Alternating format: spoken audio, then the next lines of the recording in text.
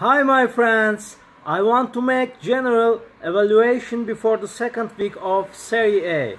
Firstly, I start with Roma Juventus game of the week. After I talk about Inter Fiorentina game and make short comments about other matches in Serie A. Finally, I will guess the results of the games. Every week I share my predictions matches that likely to end in a draw. Let's start with Roma Juventus game.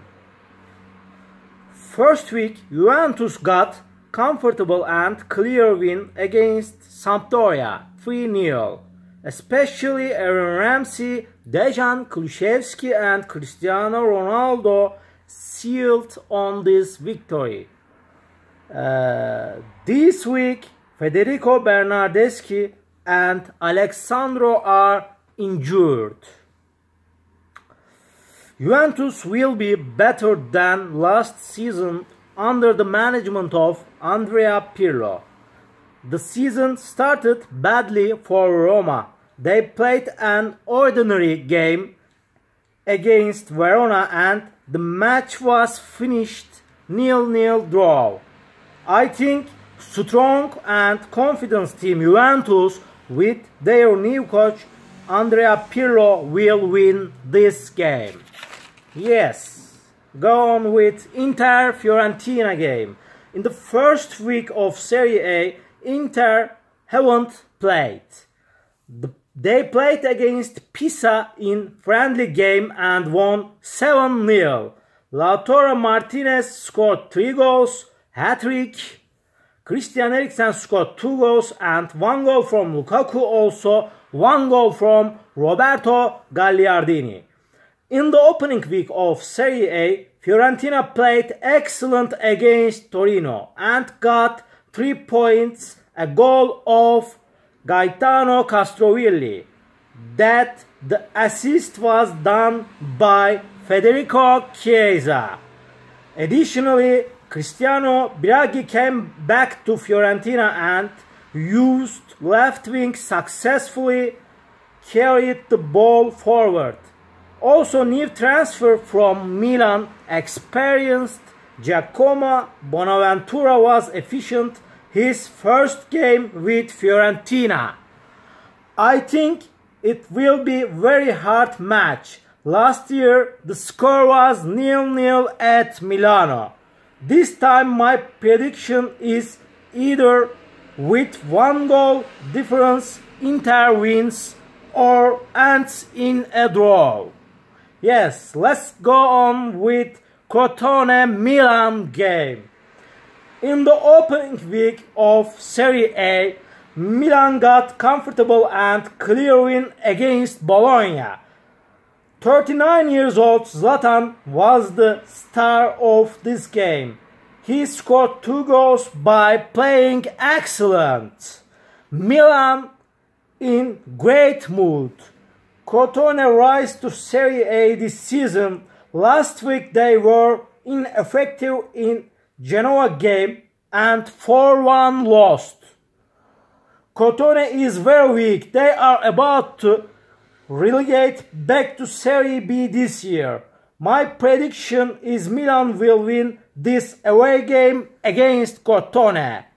Yes, let's go on with Napoli-Genoa game. In the starting week of Serie A, Napoli won 2-0 against Parma at Ennio Tardini. It was paced and unpleasant game. In the second half, when new transfer Osimhen get into the pitch, the game's fate was changed. Dries Mertens and Lorenzo Insigne scored the goals. By the way, Hirving Lozano played very good on the right wing. Genoa started with clear 4-1 win to Serie A against weak opponent Crotone. Genoa made good transfers like Zappacosta, Badelj, Pjaca and Ziyech. I think in this match Napoli is closer to winning but it won't be easy for two teams. Yes, Torino Atalanta. Atalanta is going to win because Atalanta is special and different team. They get successful results in away games.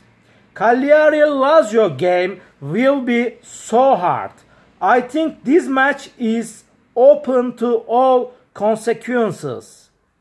Sampdoria Benevento. Sampdoria lost against Juventus normally last week, but I think they will win this week against Benevento at home under the management of experienced coach Claudio Ranieri. Spezia Sassuolo. It will be so hard for Spezia that rising to Serie A this season. I think Sassuolo will get the win. Verona Udinese. There will be a balanced match. It's not easy to beat Verona in its own field, but Udinese is stubborn team. My prediction is draw for this game. Bologna Parma. Last game Monday night. In the first week of Serie A, these two teams lost against their strong opponents. I think this is the second game close to draw after Verona Udinese match.